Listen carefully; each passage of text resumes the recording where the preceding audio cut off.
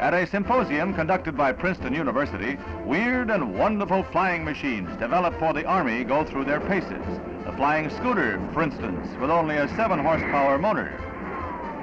Or this flying, what have you. Just count your fingers after starting the fans. None of these contraptions will rise more than a few inches off the ground, as these Defense Department films show.